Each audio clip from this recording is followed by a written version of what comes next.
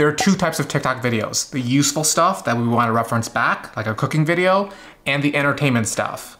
Here's how to embed the useful stuff into your Notion workspace so you don't need to open up the TikTok app and go down that rabbit hole that we all go down. So I'm in my recipes database in Notion and I have these Chipotle chicken nachos I'm gonna make this weekend for a party and I found this on TikTok. If I toggle this video, you can see I actually have a TikTok video embedded into this page and I can reference it and watch that 30 second video and be like, okay, this is this these were the ingredients for that nacho recipe. So here's how to do it.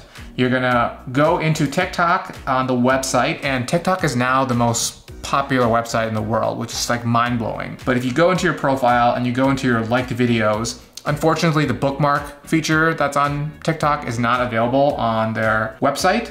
So you'll have to like the video, go in here, find a video, like these egg bites video.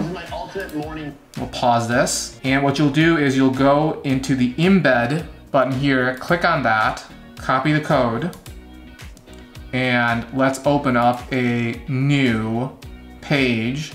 And I'm gonna use my template here, my new recipe entry.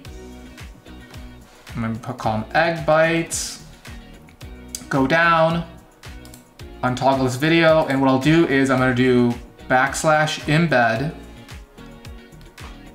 hit that, Command V for pasting, click on embed link, and I'll just take a second here, and you'll see I now have the video embedded into my Notion page. It's awesome. I love using this now. You can embed YouTube videos. I think everyone knows about that uh, natively, but you can also embed TikTok videos. Hopefully this was useful. Let me know in the comments below if you knew about this trick.